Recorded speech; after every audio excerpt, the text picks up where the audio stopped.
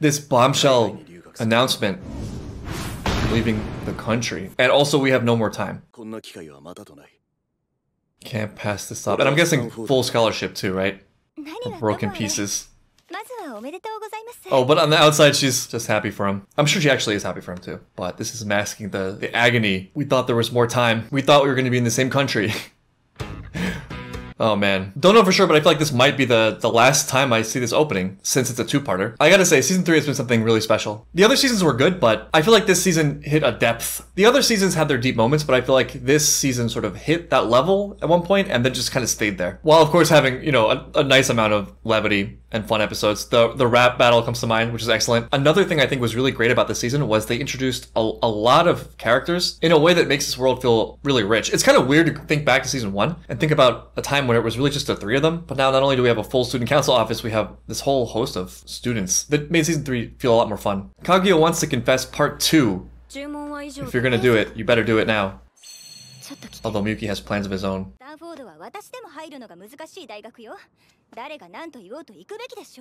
Yeah, I feel like it would be a really, really big deal, a really terrible thing for her character if she tried to sabotage it. Kind of glad we're skipping that. Yeah, if she doesn't go to Stanford, it's over. It's pretty much over that was great.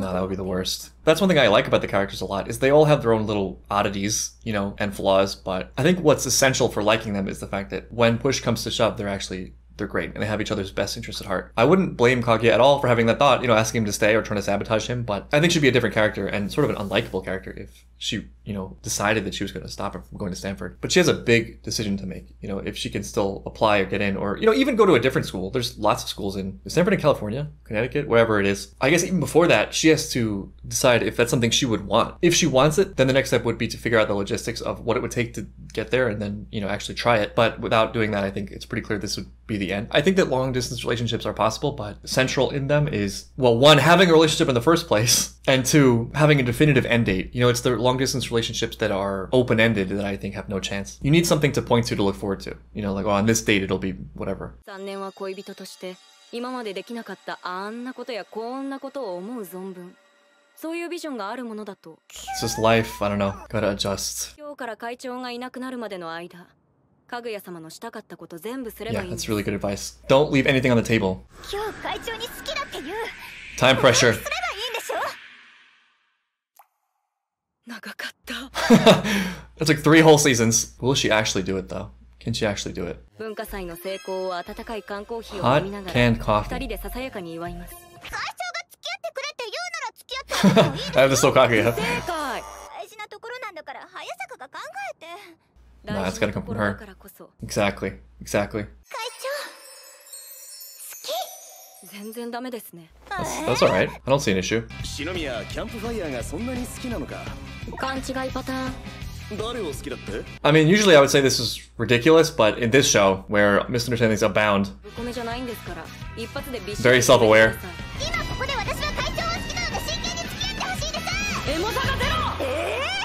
Uh, they're overthinking it. I mean, we know that none of this is necessary because Miyuki is so in love with her. He'll, he'll be happy for anything, especially because he knows her so well. He knows what it would be a big deal for her to say anything at all, you know, any any positive gesture. The confession is, is going to be secondary. I think the concept of love languages is so key. I think it's easy to expect people to show affection in exactly the way you want to be shown affection. But I think if you focus on who a person is and what their preferences are, there's a lot that becomes clear about what they actually want and what they actually like and the depths of their feelings. This is something that I experienced very clearly in in hindsight. Like if I have a, a breakup or a fight or something like that, it becomes pretty clear in in its absence how much the other person was doing for me, even if I couldn't, you know, previously point to any big gestures or gushing confessions or whatever. You realize that someone spending time with you, you know, someone having you in their lives at all, sharing experiences with you, paying attention to what you have to say. The most basic of correspondences is bigger than it might feel because it's become normal. I think one way I'm often misunderstood is for me, spending time with someone is an affirmation of my feelings for them and my regard for them, even though it might not seem that way. The, I don't know, the more I experience, the, the more I,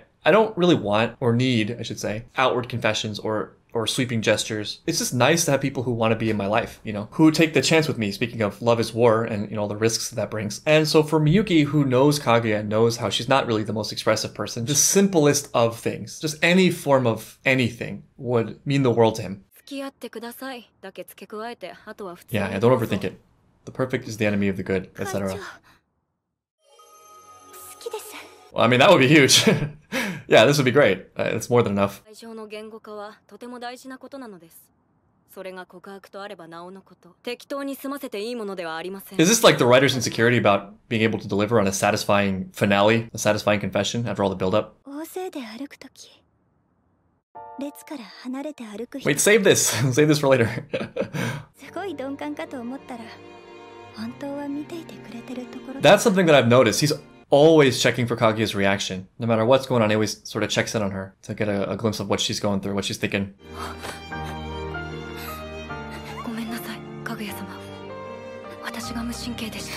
Yeah, it's a lot. It's a lot for her. Taken all at once. Kaguya wants to confess part 3.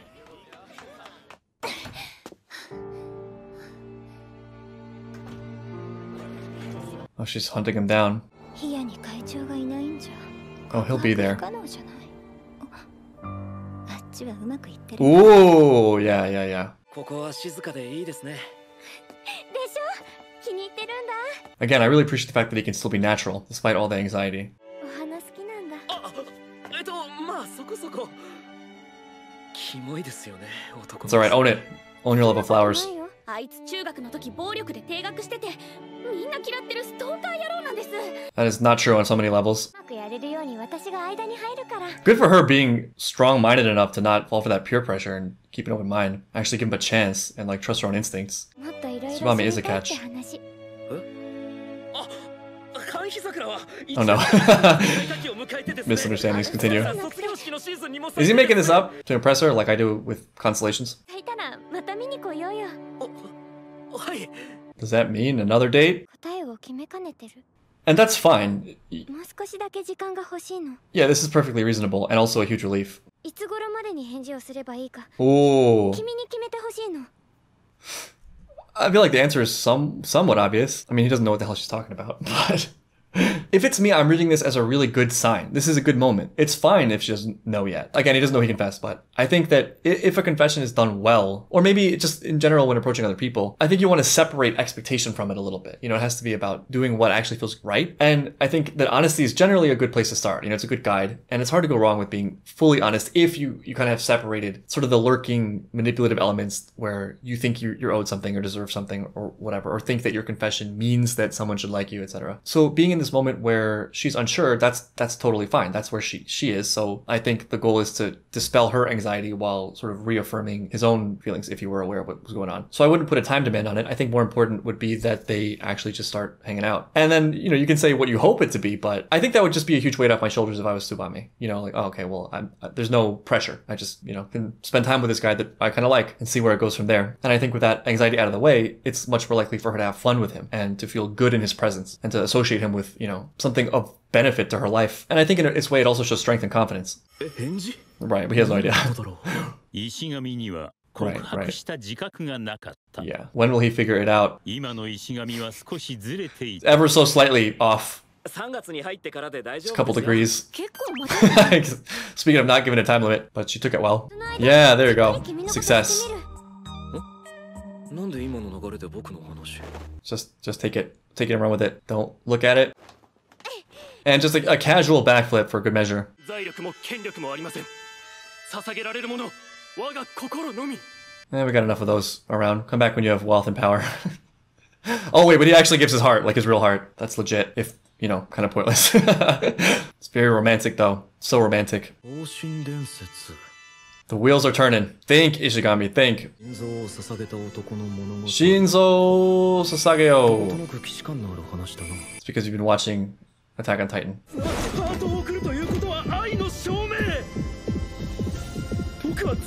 He sort of lucked out skipping all those steps by accident. He might have stumbled all over himself, if not. But I mean, he's done a great job kind of handling himself despite the anxiety. Literally playing a 今 goddess. 日の石神は少しずれていた。 Does she even need to act? 結局会長は見つからなかった Nah, he's around. 何か余裕アピールなんですか自分が私に好か Oh れ no, てる she's spiraling. 外れな自信をお持ちでまあ確かに私は会長のことを好きですけど I mean, even that's big. Is she even gonna hit the target? I've come to claim the cultural festival. Arsene! think Muki's about to take care of this whole confession thing. Look at this dude. what is he doing? we're like, we're about to get a very good glimpse of Muki's massive balls. We're all playing Muki's game right now. Doubt it. Dual Confessions, Part 1, hell yeah. Just kinda lost it, these episodes. What a thing to notice! It's like the clocks in the intro. Which also, in hindsight, has the meaning of extreme time pressure. Just on principle, I'm gonna bet against Chikasawa solving this. yeah, but not by you.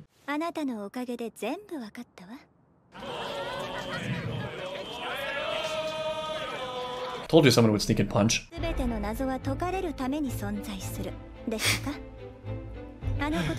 it's sad how much confidence with which she said that too.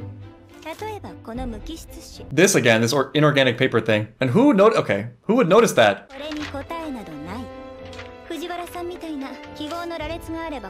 oh no.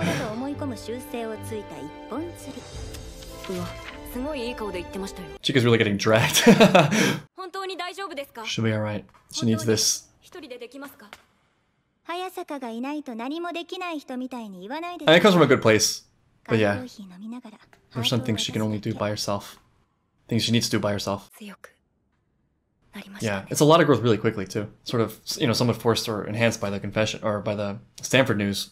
わかりますよずっと見てきましたから Yep. いつだってみんなの心配をするあ Yeah, な and た she was は just saying all this. 絶対に生徒を And 見 what she 守 likes れる about 場 him. 所にいる Yuki really, really leaving a lot up to chance.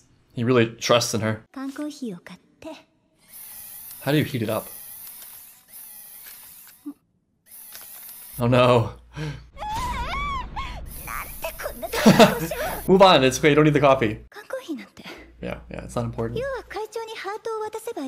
Right. also doesn't matter. Also doesn't matter. In a way, it's good. It cuts out her escape a little bit. Something that she needs to do. oh, no. how quickly they come crawling back. Oh yeah. This is so big, there's gonna be a lot of embarrassment later. There's nowhere to go but forward. Indeed. Own it. No time for doubt. Good. This is good. All that's left is the truth. It couldn't be any better. There's no trickety trick that's gonna move this rock, if you know what I mean.